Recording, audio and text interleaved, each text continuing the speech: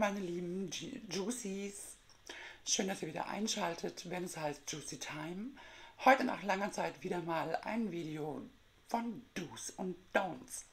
Aufgebrauchte Produkte.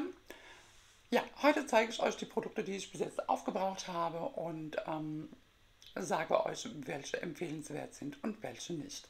Bevor dieses Intro wieder länger wird als das komplette Video, würde ich sagen, lasst uns direkt zum Video. Ja, meine Lieben, schön, dass ihr wieder eingeschaltet habt. Ähm, heute das Do's und Don'ts Video. Das hat sich die liebe Dilara gewünscht. Liebe Dilara, wenn du das hier siehst, dann wünsche ich dir viel Spaß bei dem Video und grüße dich ganz herzlich. Ja, ich habe hier eine Kiste mit aufgebrauchten Produkten und die gehen wir heute einmal gemeinsam durch und da sind auf jeden Fall einige Produkte dabei, die absolut nicht empfehlenswert sind. Welche das sind, werde ich euch dann jetzt zeigen. Wir fangen an mit dem Setting Spray. Das ist das Dewy Set von Anastasia Beverly Hills. Das kommt in so einer in so einem Packaging in diesem Gold Glitter. Ist aber auch leicht durchsichtig. Vielleicht könnt ihr es hier in der Kamera sehen. Ich kann es sehen. Ja, ähm, das ist einer meiner Favoriten in äh, Sachen ähm, Setting Spray. Und das, das ähm, tue ich gelegentlich mal immer wieder bestellen. Da ich äh, einige Favoriten habe im Bereich Setting Spray, äh, habe ich ja immer einen Wechsel. Genau, aber das ist hier absolut ein super äh, Setting Spray, macht einen schönen Dewy Look und ähm, absolute Empfehlung, liebe ich. Ähm, ich habe das mal geprüft, ob das irgendwelche schädliche Inhaltsstoffe hat. Leider ist diese App, die ich nutze, das ist die ähm, ToxFox, nicht bekannt. Kann sein, dass das Produkt für die App noch zu neu ist oder nicht erfasst ist. Leider konnte ich hier keine weiteren Informationen zu diesem Produkt bekommen. Ähm, ja, aber auf jeden Fall ein super gutes Setting Spray, benutze ich immer wieder gerne, auch gerne im Sommer. Ja, dann kommen wir zum nächsten Produkt und hier habe ich von Isana. Ähm, das ist ein Duschschaum und diesen Duschschaum hatte ich auch in meinem Italienurlaub schon dabei. Den habe ich auch ganz gerne gemocht. Ähm, ich liebe generell Duschschaum. Vor allem ähm, in den Wintermonaten finde ich das super, super angenehm. Es umhüllt einen wie so ein ähm, warmer Mantel beim Duschen. Finde ich richtig mega. Ähm, hat auch einen super Duft gehabt, mehr so ein sommerlicher Duft. Es war halt mit ähm, Früchten, Himbeer und ähm, Zitrone. Kann man auch hier gut erkennen. Und der hat sich genannt Sweet Feeling. Ja, Sweet Feeling. Genau. Ähm, jetzt muss ich mal kurz auf meine Notizen hier schauen, ob da irgendwie schädliche Inhaltsstoffe mit drin war. Aber bei diesem Produkt absolut ähm, frei von von ähm, flüssigem Kunststoff oder Nanopartikeln oder alles das, was nicht auf unserer Haut sollte, Schadstoffe zum Beispiel. Ähm, von daher von mir eine absolute Empfehlung. Ähm, ist auch absolut günstig von Isana. Ist ja die eigene Marke von Rossmann, glaube ich. Ja, kann man machen. Hat mir super gut gefallen. Würde ich mir auch wieder einen Backup von holen. So, dann haben wir mein gehyptes Farbdeodorant ähm, von Divine Moments, also beziehungsweise von Fahr und nennt sich Divine Moments, 48 Stunden halt. Mir würden 24 Stunden reichen ähm, oder auch nur 12. Ähm, ja, dieses Produkt, bevor ich das gekauft habe, ähm, hatte ich das schon mit meiner App geprüft und scheinbar war dieses Produkt noch neu und der App unbekannt. Es gab also keinerlei, ähm, keinerlei Hinweise darauf, dass hier irgendwie Schadstoffe mit drin sind. Ähm, jetzt habe ich es gerade nochmal probiert und dann wurde mir was ausgespuckt. Und zwar enthält dieses Produkt hormonelle Schadstoffe, Benzyl, Sali, Salicylate. Salicylate. ja, das braucht kein Mensch auf seiner Haut. Und ähm, liebe, liebes Paar, Team, wie auch immer, muss nicht sein. Absolut keine Empfehlung. Werde ich zwar noch aufbrauchen, aber auf gar keinen Fall nochmal ein Backup von kaufen und rate ich absolut von ab. Ja, dann haben wir von BB diese Abschminktücher. Ich bin ja gerade so richtig hype auf dieses Rosenwasser. Das ist dieses roséfarbene hier. Ja, erfrischende Reinigungstücher für normale Haut mit Rosenwasser erfrischt, das Hautgefühl. Sorgt es dafür. Und das gleiche habe ich auch noch mal hier als ähm, Babypflegende Reinigungstücher, trockene und empfindliche Haut mit dem Pride, Pride Moment. So, und die habe ich auch mal durch die App gejagt und leider, leider werde ich auch danach nicht mehr greifen. Auch hier sind enthalten flüssiger Klebstoff, ähm, Acrylates Crosspolymer, äh, Demit Demitikon und Derim, Derimate. Ich hoffe, ich habe es richtig ausgesprochen. Ja, ähm, sowas braucht definitiv niemand auf seiner Haut. Noch nicht mal Swatches abzuwischen. Von daher von mir hierfür absolut keine Empfehlung. Werde ich auch nicht mehr danach greifen. Das nächste Produkt ist dieser Concealer hier von Dior. Ja, dieser Concealer war auf jeden Fall super ergiebig. Den habe ich irgendwann gekauft im Mai ähm, vor meinem Urlaub zu Italien und habe den bis zuletzt heute benutzt, so ergiebig. Ähm, allerdings werde ich danach nicht nochmal greifen. Es wird kein Backup geben davon. Nicht, weil es ein schlechter Concealer ist. Der Concealer ist schon ein guter Concealer, aber lässt sich mir leider zu schlecht verblenden. Ähm, egal wie stark man blendet, es hinterlässt immer nur noch so einen kleinen Rand. Ähm, ich habe dann herausgefunden, dass es sich mit einem Pinsel, mit einem Make-up-Pinsel, nochmal besser auftragen bzw. verblenden lässt. Ich zeige euch mal, was für ein Pinsel ich hier benutze. Das ist auch mein Foundation-Pinsel von Luvia. Ja, wenn es mal wieder schnell gehen muss. Ah, das ist so ein Pinsel, der ist fester gebunden, ist halt eben für ähm, Foundation und damit verblende ich ihn auch, das funktioniert besser. Vom Finish her ist, macht er schon einen frischen Look. Ähm, hat aber jetzt zum Schluss, soweit ich mich erinnern kann, da ich ihn schon so lange habe ähm, und auch froh bin, ihn jetzt aufgebraucht zu haben, ähm, nach, gewissen, nach einer gewissen Tragezeit creased der mir schon sehr stark. Und ähm, ja, es kann aber auch sein, dass es jetzt zum Ende hinzugeht und halt so die Reste des war. Und ähm, weil vorher kann ich mich nicht daran erinnern, dass er so stark gekriest hat. Und ähm, ja, aber trotzdem, nochmal würde ich danach nicht greifen. Es äh, wird kein Backup davon geben, weil es einfach Concealer gibt, die für mich besser funktionieren. Dann kommen wir zum nächsten Produkt von Max More Action. Das ist ein Primer, Face Primer, Matte Finning. Und von diesem Primer von Max More kann ich euch definitiv absolut ähm, nicht empfehlen. Einfach aus dem Grund, weil auch hier, ich glaube, hier waren sogar die krassesten Schadstoffe wo habe ich es hier? Da drin ist enthalten flüssiger Kleb äh, Kunststoff. Ähm, wird auch deklariert als gefährlich, gemäß REACH-Verordnung, äh, Demit Demitikon und Derivativen, äh, Cyclonixaciloxalin. Mein Gott, schwierige Wörter. Gut, ich denke, sowas will kein Mensch auf seiner Haut haben. Diese Stoffe sind krebserregend und ähm, sollte wirklich kein Mensch benutzen. Ähm, kommt sofort für mich in den Trashbeutel. Ja, zum nächsten Produkt. Und zwar hier das Setting Spray von NYX Drugstore. Und zwar ist das der Dewy Finish Fin Satin. Ähm, Satin habe ich jetzt daran nichts gefunden. Es riecht, riecht stark nach Alkohol und ähm, vom Halt her überzeugt es mich nicht.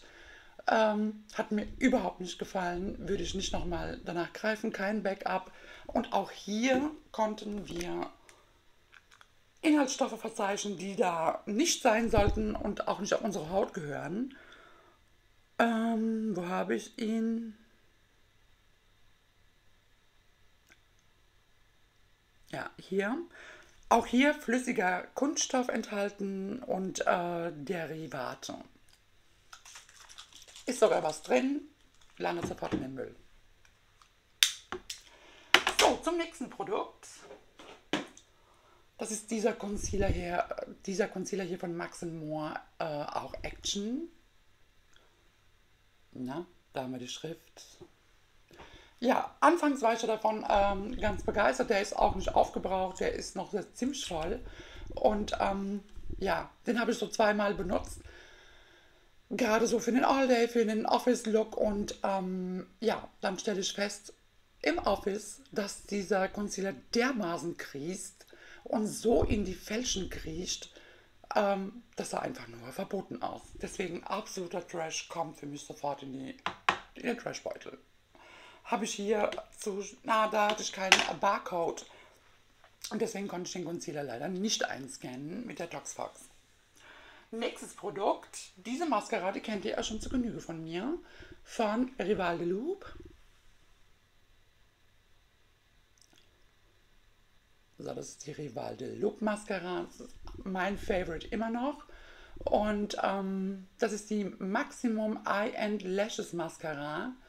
Hat so ein Bürstchen.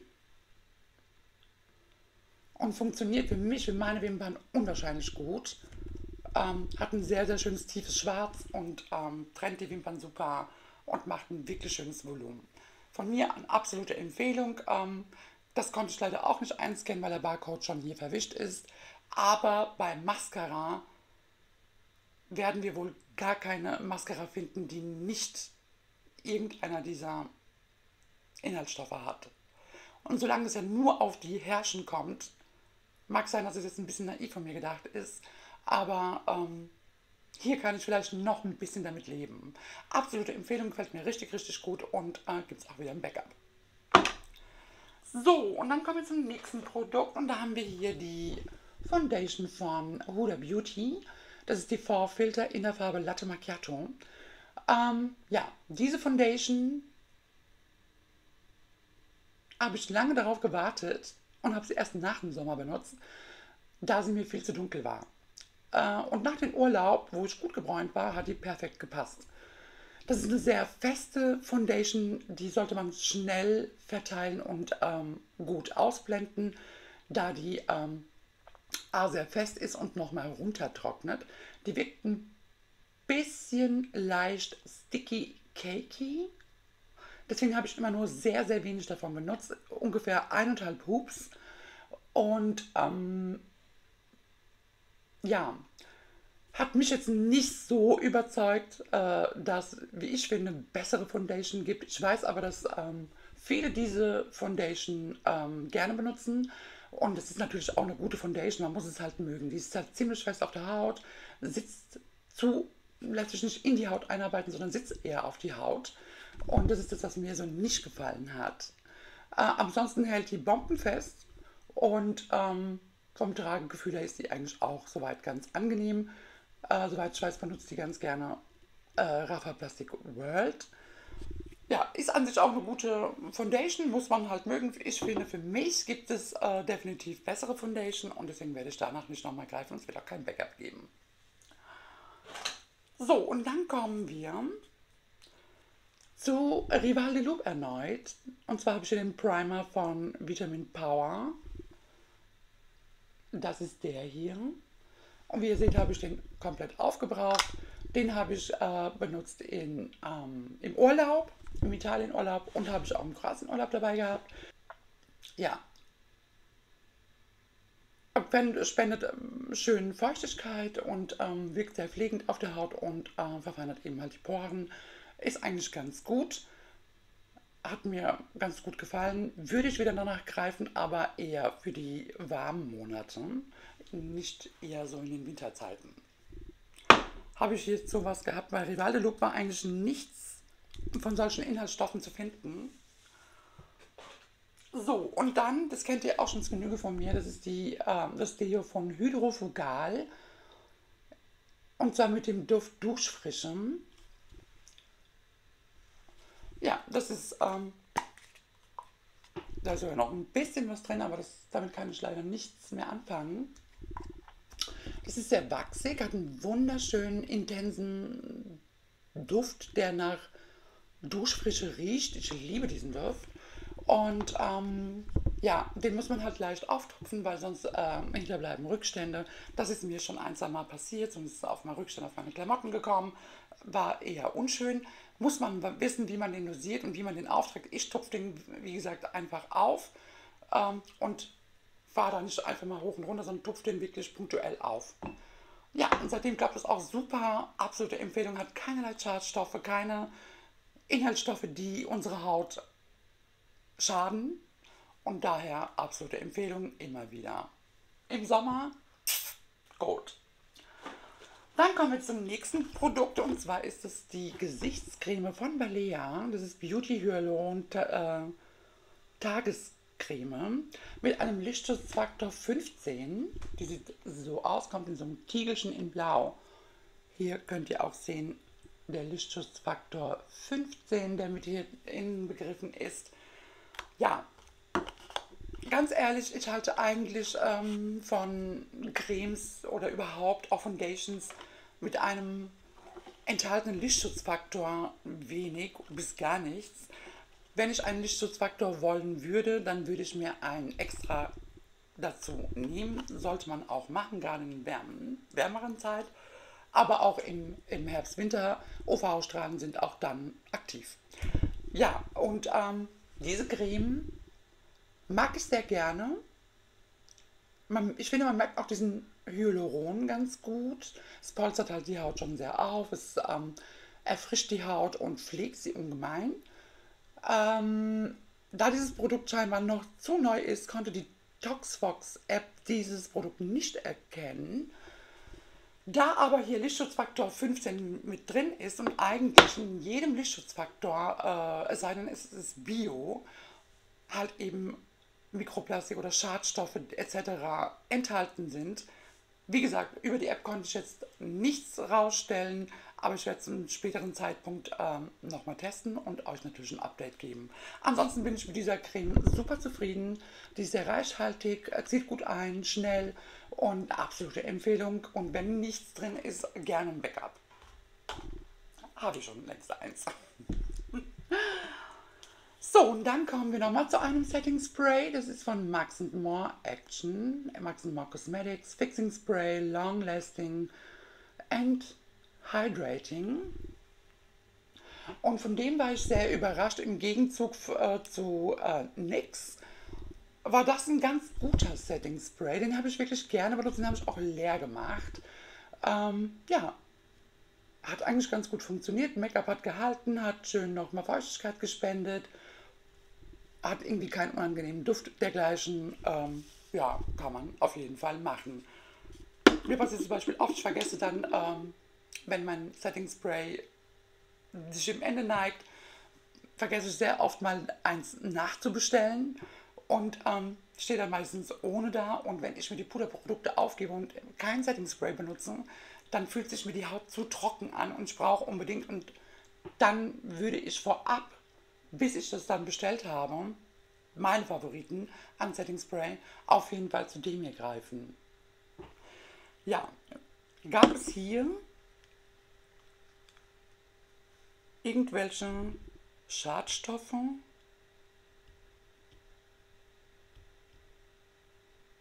Das war, glaube ich, der, ähm, genau, das war der Primer. Genau, nö, waren keine Schadstoffe drin. Absolut sauber und daher von mir eine absolute Empfehlung. Und für so günstig Geld und wirklich gutes Produkt, das kann man safe so machen. Ähm, glaube ich, würde ich wieder nachgreifen. wenn ich mal wieder eins vergessen habe zu bestellen. So, dann haben wir noch hier von Maybelline New York Color Sensational. Den kennt ihr auch zu Genüge von mir. In der Farbe Braun, das müsste die 02 sein. Das ist der hier. Das ist ein Lip Liner. Nee, falsche Seite. Ich dachte schon, da wäre noch ein Spitzer, aber wozu auch? Hm. Ja, ist ein Lip Liner. Benutze ich sehr gerne von Maybelline. Ähm, von der Haltbarkeit her auf den Lippen, wenn man den aufgetragen hat, eher mittel. Ähm, trägt sich schon natürlich schnell ab. Klar, wenn man was gegessen hat, ähm, umso schneller. Ähm, lässt sich aber gut auftragen, hat eine schöne weiche Mine, gleitet über die Konturen, macht was er machen soll. Haltbarkeit könnte natürlich wesentlich besser sein, aber wir haben hier ein Drugstore-Produkt und für ein Drugstore-Produkt absolut nice würde ich auf jeden Fall wieder danach greifen und ein Backup mir davon holen. Ich habe aber allerdings zurzeit zwei, die ich äh, gerade teste. Das ist einmal von Soeva, glaube ich, und von NYX. Ja, absolut gutes Produkt, Made in New York, kann man empfehlen. Und last but not least haben wir hier die, ähm, den Eyeliner, den Epic Ink Liner von NYX und ihr wisst, wie verliebt ich in diesen ähm, Eyeliner war. Davon habe ich einige leer gemacht. Und auch hier konnte anfangs die App, als ich das erste Mal abgefragt habe, ob hier irgendwelche Schadstoffe mit enthalten sind, ähm, nichts feststellen, da das Produkt neu war und die App das noch nicht irgendwelche Daten über das Produkt hatte. Kurz vor dem Dreh habe ich natürlich nochmal alles abgescannt und siehe da, es ist jede Menge drin. Aber das wird auch ähnlich sein wie bei einer Mascara. Ich glaube, es wird schwierig werden, ähm, einen Eyeliner zu finden, der frei von allem ist. Aber nichtsdestotrotz, ähm, das, was ich da gesehen habe über die App, sorry, aber das brauche ich wirklich absolut nicht auf meiner Haut. Und ähm, ich muss auf jeden Fall eine Alternative suchen, die das zumindest nicht in, in dieser Inhaltsform besitzt. Ähm, am besten natürlich einer, der komplett frei ist von allem, der vegan ist. Ähm, ja, müsste ich mich mal auf die Suche machen, müsste ich mal recherchieren. Zurzeit benutze ich auch mehr den Revlon ähm, Eyeliner, von dem ich ja anfangs gar nicht so begeistert war, aber im Laufe der Zeit doch, weil ähm, anfangs hatte der nicht so eine gute Farbabgabe. Ähm, aber der hat einfach ein bisschen Zeit gebraucht, so zwei, drei Tage, und dann ist er eigentlich ganz, ganz gut gelaufen. Jetzt habe ich aber hier keinen Barcode, um den einzuscannen. Und weiß nicht, ob da irgendwelche Inhaltsstoffe sind, die kein Mensch braucht. Äh, ich werde es aber trotzdem nochmal prüfen. Ja, und gegebenenfalls mal im Internet schauen. Ich gebe euch dazu auf jeden Fall nochmal ein Update. Ja, und schon sind wir auch am Ende. Das waren also, ach ja, NYX Eyeliner. Inhaltsstoffe. Das war NYX Spray, NYX und das müsste der Eyeliner sein. Flüssigen Kunststoff, Nanopartikel, Acrylates, Copolymers, Carbon Black, Rouge Nano. Ähm, ja, Wer möchte Ruß auf sein, auf sein Lied haben? Ähm, wer möchte flüssigen Kunststoff auf sein Lied haben, was absolut krebserregend ist? Ich denke niemand. Und ähm, den Rest braucht auch kein Mensch. Also vielleicht, wenn eine Sache mit drin wäre, hätte ich vielleicht noch ein Auge zugedrückt. Aber bei der Kette hier an ähm, schädlichen Inhaltsstoffen kann ich dieses Produkt nicht bestens Gewissen empfehlen. Also von mir aus wird es kein Backup geben. Ich werde auf jeden Fall nach einem neuen suchen. Gegebenenfalls auch bei Revlon bleiben. Ähm, ja, hierfür leider, meine Meinung muss ich revidieren, absolut keine Empfehlung. Ja, so und somit sind wir auch am Ende dieses Videos angelangt. Vielen Dank, dass ihr wieder zugeschaut habt. Und wenn euch dieses Video gefallen hat, gebt diesem Video einen Daumen nach oben. Schreibt mir gerne in die Kommentare, ob ihr die Produkte kennt, ob ihr sie benutzt und was ihr von äh, schädlichen Inhaltsstoffen äh, haltet, ob ihr auch darauf achtet. Das wäre super. Das würde auf jeden Fall auch für mich eine super Information sein, so ein Informationsaustausch. Und ähm, dann würde ich sagen, einen schönen Sonntag, wann auch immer ihr das Video äh, schaut. Einen schönen Tag für euch und schaltet wieder ein, wenn es wieder heißt Gina Juicy Time. Und ähm, ja, bevor ich es ganz vergesse, abonniert auch den Kanal, aktiviert das Glöckchen, um keine weiteren Videos zu verpassen. Das nächste Video, was folgen wird, ist Jahresfavoriten 2023 und da gibt es wirklich einige Game Changer, die ähm, meine Make-up-Routine doch nachhaltig in die Veränderung gebracht haben. Welche es sein werden, könnt ihr gespannt sein auf das nächste Video, was am Donnerstag kommen wird. Bis dahin wünsche ich euch alles Gute und ähm, habt eine schöne Weihnachtszeit. Eure Gina Juicy. Bye!